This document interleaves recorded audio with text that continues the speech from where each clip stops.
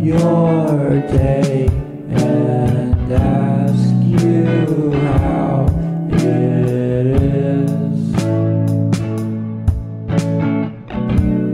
Why are you being cruel when we could have all this?